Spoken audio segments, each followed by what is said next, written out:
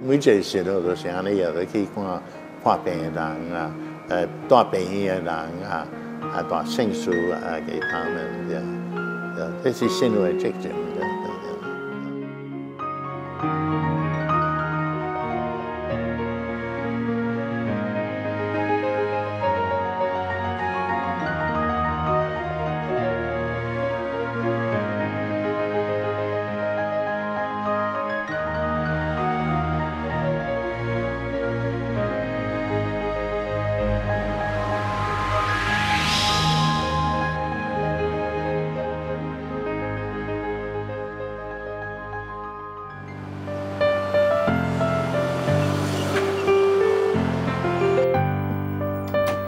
一如往常，在清晨的六点，曾显道神父就起床准备，开始他一天的行程。六十年来，曾神父用一贯的节奏与步伐，执行他身为神父的职责，履行天主交付给他的使命。今天的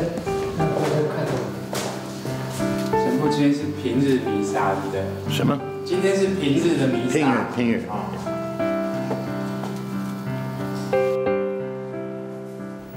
每天早晨的弥撒是清水地区的天主教友一天心灵启发的开始。在曾神父的引导下，感受天主的临在与关爱。现年八十七岁的曾神父，家族都是虔诚的天主教徒。他十五岁时就立志要当神父，到海外传教。年轻的时候就是到一个天主教的学校哈。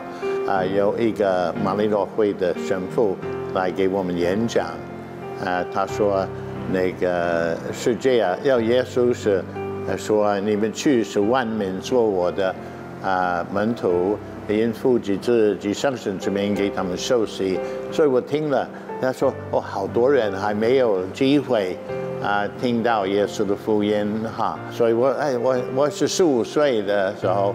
我觉得很很有意思、很有意义的呃一个工作。在修院经历了十一年的学习后，曾神父在二十六岁时晋夺成为神父，之后就被马利诺外方传教会派来台湾传教。呃，我都不认识，那个时候他们没有说台湾，他们说 Formosa。我是一九五八年来，民国四十七年来到台湾哈。语言不通，所以第一就是要学啊语言啊，呃呃，才才也沟通啊，对不对？曾神父在玛丽诺修会的会院学习台语十个月后，就被派往彰化二林、北斗、田中等地宣扬福音。为了和教友沟通，曾神父拼命的学习台语。现在他的台语可是说的比许多台湾人还到地。比如说在台中学，呃，小朋友的几岁，啊，呃呃，普通的讲，我八岁，啊，啊，遐个人讲，我八岁，我八岁，我是八岁是啥？咱台中就讲，哦，是了，阮几年在做过，啊，阮几年在做过，你听有啊？啊，但迄边遐个更哥，你这这个，啊，他说更哥，你这这个，这是什么？离开彰化之后，曾神父陆续来到台中山明路和沙鹿天主堂传教。一九八五年，曾神父传教的足迹来到了清水天主堂，一待就是三十年。如此丰富的牧灵经历，也让他练就了国台语双声带的实力。呢时间六十年前，为大个人老诶，要讲自己。但是不要讲国语啊，外省人不要讲台湾来，所以有这个困难被通。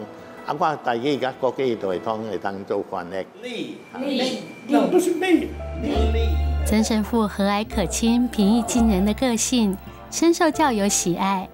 在教友的眼中，曾神父不仅是位信仰的导师，更是一位慈祥的长者。大家都会互相帮忙，比如说早上啊，然后或者是有一些点心、奶餐点，就是会拿来跟神父做分享。你们就我就送饭来，然后也陪神父聊聊天。对对，我们常常就会陪他吃饭，但是大部分他一个人吃比较多。神父还习惯台湾的那个料理菜色，呃，还很喜欢，对，很喜欢，很喜欢台湾料理很好。对，我来的时候六十年前都是汤，每一个都是汤，每一每一个 dish 都是汤。但那个时候都是天气很热，都要多喝水，喝汤就很好。对，可现在不必。现在不用了。凭借着对天主的热忱，曾神父努力学习语言，用流利的国台语拉近与教友之间的距离，更让自己深耕台湾有了最重要的凭借，也在台湾这片土地上写下了动人的故事。